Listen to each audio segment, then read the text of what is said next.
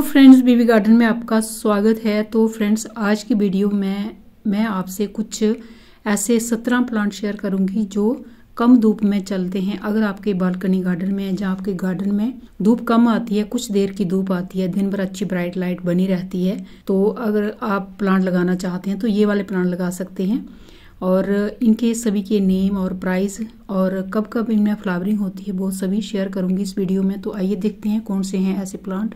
तो सबसे पहला प्लांट देखिए, ये है रेनन कुलस रेनन कुलस सर्दी के दिनों में बहुत ही आसानी से नर्सरी पर मिलने वाला प्लांट होता है और काफ़ी बड़े बड़े साइज़ के इसके फूल होते हैं। और जब मैंने इसको लिया था, ये मुझे साठ रुपए का एक प्लांट पड़ा था और मैंने दो लिए थे, लाल और पीले रंग के। बहुत ही खूबसूरत सा एक सीजनल प्लांट होता है जो बल्ब के थ्रू ग्रो होता है। तो अगर आपके गार्डन में धूप नहीं आती है, कम धूप आती है, कुछ देर की धूप आती है तो आप इसको लगा सकते हैं। बहुत ही खूबसूरत और काफ़ी लंबे समय तक इसमें फ्लावरिंग होती है और देखने में काफ़ी खूबसूरत लगता है। अगर आपके गार्डन में धूप कम आती है या कुछ देर की धूप आती है तो इस परमानेंट प्लांट को लगा सकते हैं। ये बाइट वेलवेट प्लांट है परमानेंट प्लांट है और कटिंग से भी लग जाता है। नर्सरी पर पचास साठ रुपए का मिल जाएगा। और इसमें भी जो है कम धूप में काफ़ी अच्छी फ्लावरिंग होती है और ये कम धूप में ही अच्छे से फ्लावरिंग करता है। नेक्स्ट प्लांट देखिए, ये क्रॉस सेंड्रा है। क्रॉस सेंड्रा वैसे गर्मियों में फ्लावरिंग करता है, मगर ये परमानेंट प्लांट है। पूरा साल हमारे गार्डन में बना रहता है और इसकी जो फ्लावरिंग है फरवरी एंड मार्च में शुरू हो जाती है, जो चलती रहती है अगस्त, सितंबर तक। और बहुत ही खूबसूरत सा ये प्लांट है। जब देखिए इस पर फूल खिलते हैं, पूरा प्लांट फूलों से भर जाता है। और ये जब मैं इसको नर्सरी से लाई थी, ये मुझे अस्सी रुपए का मिला था। तो परमानेंट प्लांट है, इसको ले सकते हैं आप। इसको भी एक दो घंटे की धूप चाहिए होती है, वो भी सुबह सुबह की तो अच्छे से फ्लावरिंग करता है। तो नेक्स्ट प्लांट देखिए, इसको तो बहुत ही कम धूप की ज़रूरत होती है। और ये भी एक परमानेंट प्लांट है।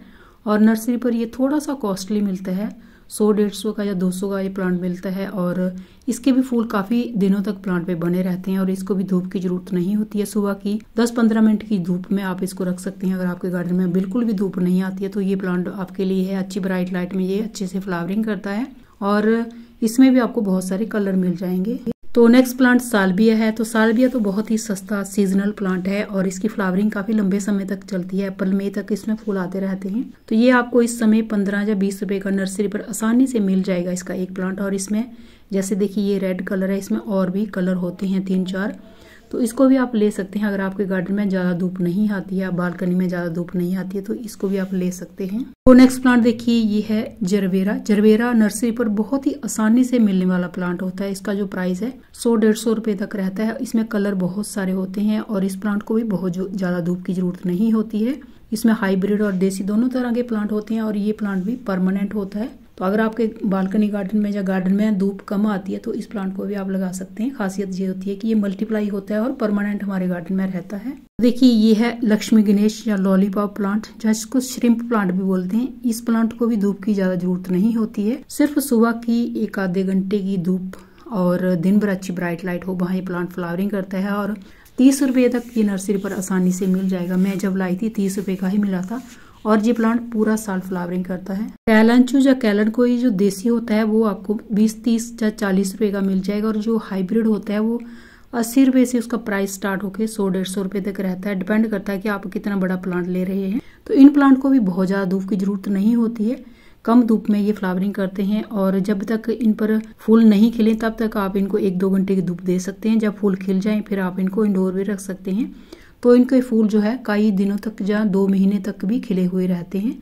तो देखिए, इस तरीके से जब इसमें फ्लावरिंग होती है, पूरा प्लांट फूलों से भर जाता है। तो नेक्स्ट प्लांट देखिए, बेगम बहार का है। तो बेगम बहार का भी जो प्लांट है, बहुत ही कम धूप में जा कहूँ कि इसको बहुत ज़्यादा धूप की ज़रूरत नहीं होती है। सिर्फ़ दिन भर जहाँ अच्छी ब्राइट लाइट हो, सिर्फ़ एक आधे घंटे की सुबह सुबह की इसको धूप मिल जाए तो फिर ये प्लांट जो है फ्लावरिंग करता है। परमानेंट प्लांट है और जब मैं इसको नर्सरी से लाई थी तो ये मुझे सत्तर रुपए का मिला था। तो इसी तरह का इसका जो प्राइस है वो नर्सरी पर रहता है, सत्तर ज़्यादा से ज़्यादा सौ रुपए का आपको ये मिल जाएगा। और देखिए इस तरीके से इसमें पर्पल कलर के फूल खिलते हैं। देखिए ये सीनियर एरिया है। सीनियर एरिया जो इन दिनों आसानी से आपको मिल जाएगा नर्सरी पर। और इसमें बहुत सारे रंग आपको मिलेंगे। प्राइस की बात करूँ तो जब मैंने इनको लाई थी तो ये मुझे तीस तीस रुपए के मिले थे। इसका छोटा प्लांट ये थोड़ा सा कॉस्टली रहता है।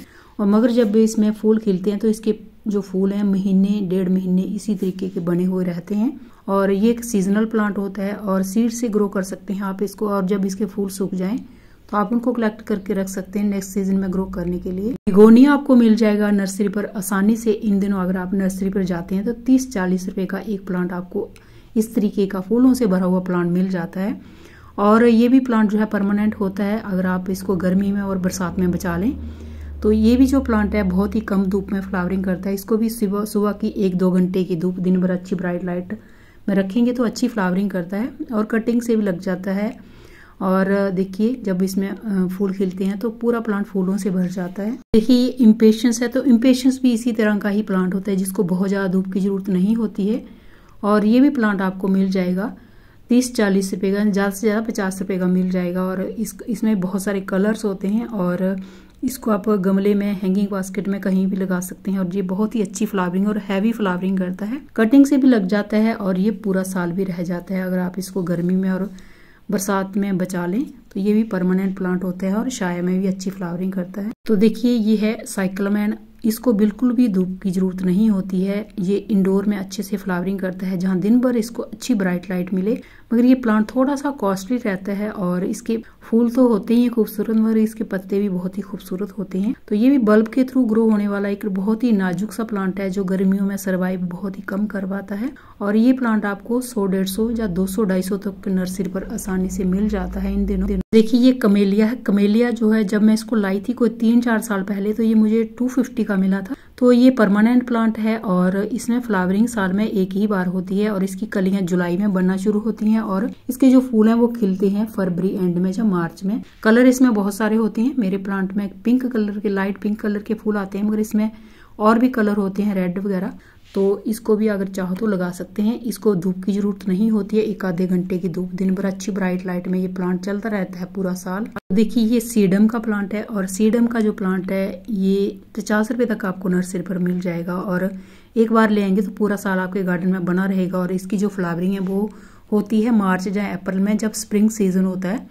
तो तब इसमें इस तरीके के फूल आते हैं। तो इस समय आप इसको नर्सरी से ले सकते हैं और स्प्रिंग में इससे फ्लावरिंग ले सकते हैं। तो देखिए, कोलियस कोलियस भी में फूल भी आते हैं, मगर फूल इसके इतने खूबसूरत नहीं होते जितने इसके खूबसूरत इसके पत्ते होते हैं। तो इस प्लांट को भी बहुत ज़्यादा धूप की ज़रूरत नहीं होती है, सिर्फ़ एक दो घंटे की धूप, दिन भर अच्छी ब्राइट लाइट हो। तो इसको भी आप लगा सकते हैं, जिनके गार्डन में ज़्यादा धूप नहीं आती है। तो ये अच्छे से चलेगा, कटिंग से लग जाता है, नर्सरी पर 20-30 रुपए का आसानी से मिल जाता है इसका एक प्लांट। तो ये नस्ट्रेशियम है। नस्ट्रेशियम को भी जो है ज़्यादा धूप की ज़रूरत नहीं होती है। सीड से आसानी से ग्रो हो जाता है। नर्सरी पर भी इसका जो प्लांट है, मिल जाता है। दो रंग में देखिए, ये ऐसे ये एक जो केसरी कलर है, जहाँ एक पीला रंग है, इसमें आता है। तो इसको एक बार लगाएँगे तो हर साल ये खुद ही ग्रो हो जाता है। जहाँ इसके सीड गिरेंगे तो हर साल वहाँ ये ग्रो हो जाता है। तो इसको भी बहुत ज़्यादा धूप की ज़रूरत नहीं होती है। तो फ्रेंड्स ये थे कुछ प्लांट अगर आपके गार्डन में धूप नहीं आती है तो इनको आप लगा सकते हैं। तो अगर आपको मेरा वीडियो अच्छा लगेगा तो इसको लाइक कीजिएगा। मेरे चैनल को सब्सक्राइब कीजिएगा। तो थैंक यू फ्रेंड्स वीडियो को देखने के लिए वीडियो आपको कैसा लगा कॉमेंट करके ज़रूर बताइएगा।